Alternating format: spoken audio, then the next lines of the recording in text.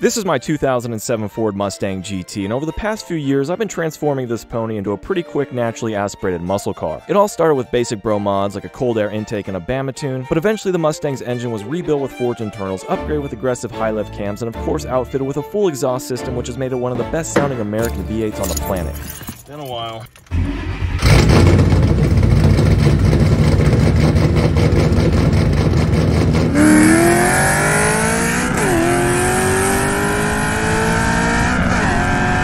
I also just finished installing these monster GT500 6-piston Brembos, which not only look awesome, but have significantly improved brake feel and performance. And if you're wondering why this Mustang looks so crispy, it's because in my last video I paint corrected it and applied Avalon King ceramic coating, which has made it look better than it ever has. Now I've raced a number of cars with this Mustang, including a 5th gen Camaro with an LS3, a 2nd gen Dodge Viper,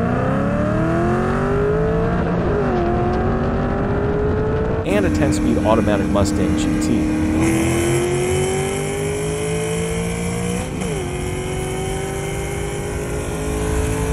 Today, we're going to do something a little different. We'll be racing my nephew Zach's completely stock 2007 Mustang GT to find out how much faster my Mustang actually is compared to stock. And to spice things up, we'll also both be racing my buddy's 2006 Porsche 911 Carrera 4, which actually makes similar power to the stock Mustang. So these 5th gen Mustang GTs are powered by a 4.6 liter V8 rated for 300 horsepower. And when mated to a 5-speed manual, that translates to about 275 horsepower and 290 pound-foot of torque at the wheels. My Mustang's powered by the same basic engine, but it's been stroked out to 4.9 liters. It also has a beefier 6-speed manual transmission that not only allows for quicker shifts, but helps the engine stay in its power band due to more even gearing.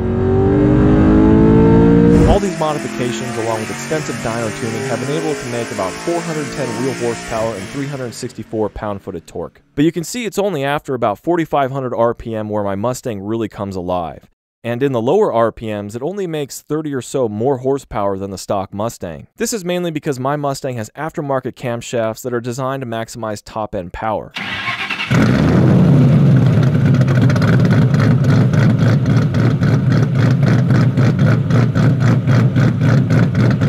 But anyway, just try to keep this in mind during our races.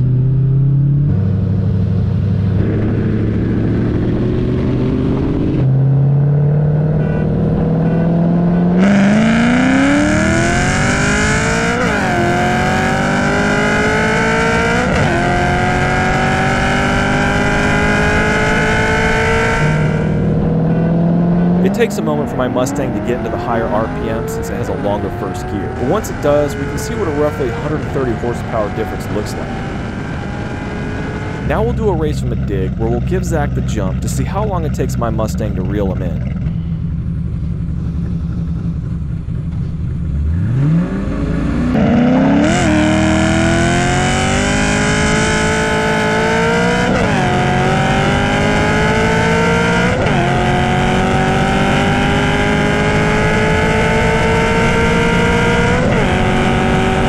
This 2006 Porsche 911 is powered by a naturally aspirated 3.6 liter flat 6 that's rated for 325 horsepower. But since it's all wheel drive, only about 270 of those horsepower make it to the wheels. And although its M96 engine doesn't generate nearly as much torque as the Mustang's V8, this 911 actually weighs about 400 pounds less and it has a 6 speed manual transmission with shorter gearing than both Mustangs, so this should be a good race.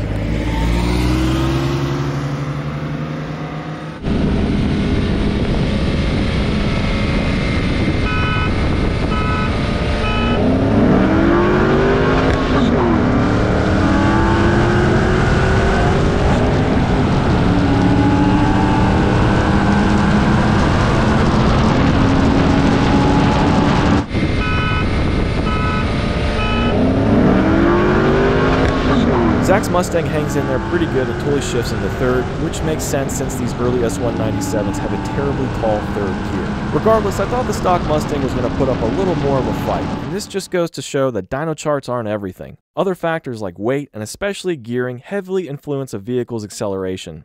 Now we'll see what the 911 can do against the exact same year and model of Mustang that just happens to have cams, headers, a better transmission, and a tune.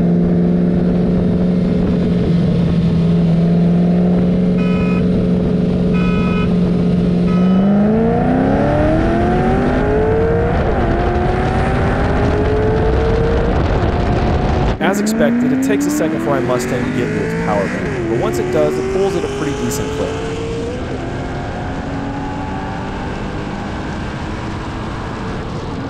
So now we'll try a race from a dig, which should give the 911 a small advantage since it's all-wheel drive.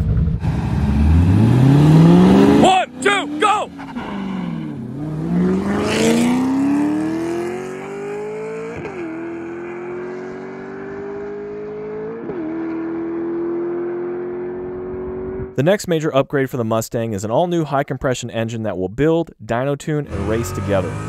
And yes, the Mustang's still getting boosted, I just really want to build a high compression max effort NA engine first. And last but definitely not least, we'll soon be upgrading the Viper with a new camshaft and ported heads from Prefix to see if we can get it to hang with modern V10s.